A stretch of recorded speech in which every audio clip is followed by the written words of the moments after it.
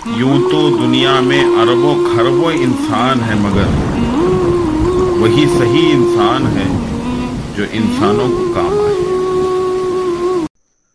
अस्सलाम वालेकुम वरहमतुल्लाहि व बरकातुहू नहमद अला रसूलिहिल करीम। अम्मा बाद। नाजरीन,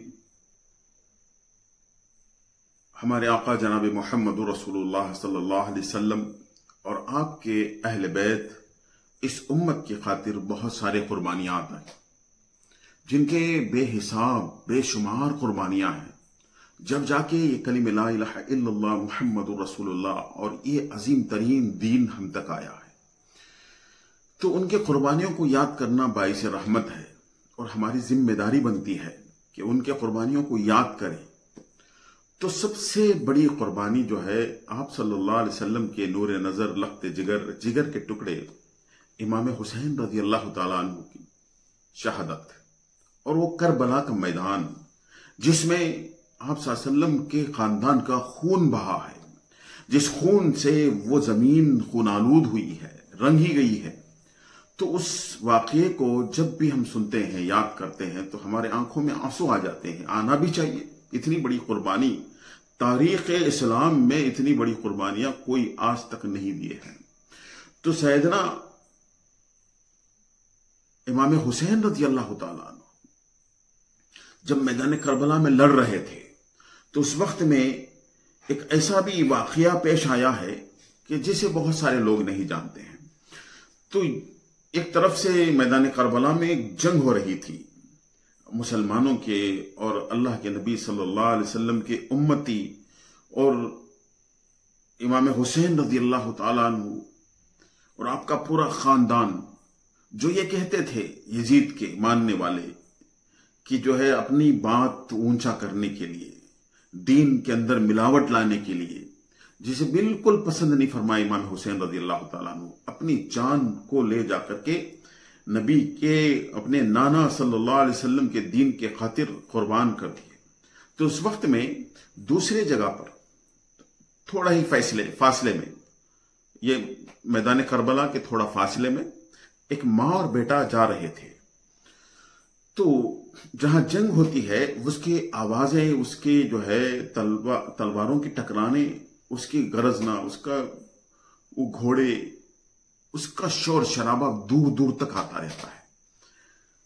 तो माँ बेटा जो है, जवान बेटा है, माँ साथ में कहीं सफ़र जा रहे थे या आ रहे थे तो उनको सुनाई दिया। तो माँ ने कहा, बेटा, ये कहाँ से आवाज़ें आ रहे जरा देख तो सही। तो माँ से बेटा इजाज़त लेके वहाँ से निकला। माँ आगे बढ़े। तो बहुत देर के बाद बेटा आ रहा है। तो माँ ने पूछा, बेटा, क्या हो रहा है? ये आवाज़ें, ये शोर शराबा कहाँ से आ रहा है? तो बेटे ने कहा, कि अम्मी जान, बड़ी बुरी खबर लाया हूँ। वो ये कि अल्लाह के नबी सल्लल्लाहु अलैहि वसल्लम के नवासे इमाम हुसैन रज़ी अल्लाह तला दुश्मनों के घेराव में आ चुके हैं, जंग हो रही है तो उसकी आवाज़ें यहाँ दूर दूर तक आ रहे हैं। तो मैं ये मंजर देख कर आ रहा हूँ। माँ ने कहा, बेटे, तुझे शर्म नहीं आती कि क्या ही अच्छा होता, तू भी तलवार लेता, इमाम हुसैन रज़ी अल्लाह साथ में हो जाता तो वापस क्यों आया है? तो बेटे ने कहा, माँ माँ, मैं भी यही सोचता था, लेकिन मेरे इंतज़ार में आप कितने दिन तक यहाँ ठहरे रहोगे।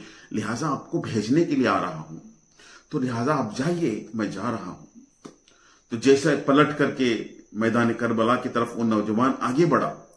माँ अपने बच्चे की कबूलियत के लिए अपनी गोद फैलाई। अपना दुपट्टा फैलाया। कि अल्लाह, ये मेरे बच्चे को कबूल कर लेते, राह में मैं भेजी हूँ। अल्लाह के नबी सल्लल्लाहु अलैहि वसल्लम के नवासे और उनके साथ में मेरा बच्चा दीन के लिए छोटी सी मेरी खिदमत। इसे तो कबूल कर ले। मेरे बच्चे को, मेरे लड़के को तो कबूल कर ले। इसकी कबूलियत की दुआ के लिए माँ गोद फैलाई। बिल्कुल वो बच्चा आगे बढ़ा तो सामने से दुश्मन आ गया। वो बच्चे के और दुश्मन के जो है दरमियान में जंग चली।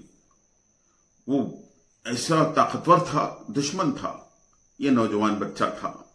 नेक दिली के साथ, नेक इरादे के साथ और इमाम हुसैन रदी अल्लाह साथ देने के लिए वो आगे बढ़ रहा था तो वो दुश्मन जो है बड़ी बेदर्दी के साथ, बेरहमी के साथ उस बच्चे के गर्दन को उड़ा देता है। धड़ से सर अलग हो जाता है।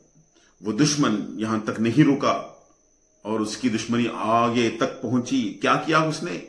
कि वो सर उठाया और माँ की तरफ़ फेंका। और सीधा सर जो है माँ के गोद में आके गिरा। अल्लाह अकबर कबीरा। माँ के, माँ का गोद है, गोद में बच्चे का सर है। अभी तक जीता जागता बच्चा, अम्मी अम्मी करके बुलाने वाला बच्चा, और दीन की मेहनत में कुछ भी नहीं बोला कि मैं क्यों जाऊँ? अम्मी, आपको भेजने के लिए आया हूँ। माँ की, माँ का एहतराम करने वाला बच्चा, और अपनी तलवार निकाल के दीन के लिए रब रसूल के लिए, नबी पाक सल्लल्लाहु अलैहि वसल्लम के नवासे को साथ देने के लिए, अपने आप को पेश करने के लिए आगे बढ़ने वाला वो नौजवान बच्चा, उसका सर माँ की गोद में गिरा हुआ है। सर से खून के खतरात टपक रहे हैं। अल्लाह अकबर। हम भी बच्चों के माँ बाप हैं। हम भी सोचे जरा ठंडे दिल के साथ कि रात में कोई बच्चा नींद से जग जाए और कहे कि मुझे प्यास लग रही है। तो माँ बाप की नींद हराम हो जाती है। तब तक बच्चे को पानी ना पिलाएँ। जैसे हमारी औलाद है, हमारी अपनी औलाद को हम अपनी औलाद समझते हैं। वो भी लोग थे, अपनी औलाद से मोहब्बत करने वाले थे, लेकिन उनके पास औलाद से ज़्यादा माँ बाप से ज़्यादा, शोहर से ज़्यादा भाई बहनों से ज़्यादा, रिश्तेदारों से ज़्यादा, सबसे ज़्यादा उनके पास दीन की अहमियत थी रब रसूल की मोहब्बत थी। तो सब कुछ कुर्बान करने के लिए तैयार है। अल्लाह वो माँ जिस माँ के गोद में बच्चे का सर आके गिरा तो माँ उस बच्चे के सर को पकड़ती है।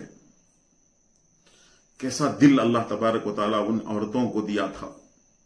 कैसे कुर्बानियाँ इस इस इस्लाम के लिए दी गई हैं। कितनी कुर्बानियाँ इस कलमे को हम तक पहुँचाने के लिए दी गई हैं। उस सर को पकड़ती है उसी जमगट्टे की तरफ़, उसी जंग की तरफ़ फेंकती हुई कहती है कि जिस चीज़ को हम अल्लाह के रास्ते में देते हैं, उसे वापस नहीं लेते। अल्लाह ये मेरा बच्चा अल्लाह के लिए वफ है। उसकी जान भी, उसका धड़ भी, उसका सर भी, उसका खून भी। ये कहती हुई वो माँ, वो बहादुर माँ, वो बहादुर नौजवान बच्चे की माँ, इस्लामी माँ, माए ऐसे होते हैं दोस्तों। तो वो माँ उस सर को उधर फेंकती हुई कहती है कि जिस चीज़ को हम अल्लाह के रास्ते में देते हैं, उसे वापस नहीं लेते। सुबहान तेरी कुदरत। ये थी हमारे असलाफ की जिंदगियाँ। ये थे उनकी जिंदगियों के आमाल। जब जाके ये कलम ला मोहम्मद रसूलुल्लाह हम तक पहुँचा है दोस्तों, कि हमारा, हमारे सामने भी दीन एक तकाजा लेकर आया है कि तुम सही ज़िंदगी गुजारो। रब रसूल की मोहब्बत में ज़िंदगी गुजारो। अल्लाह ताला हम सबको अमल करने की तोफ़ी की नायत फरमाए वाखुद अलहमदिल्ला असलकम वरहमल वर्का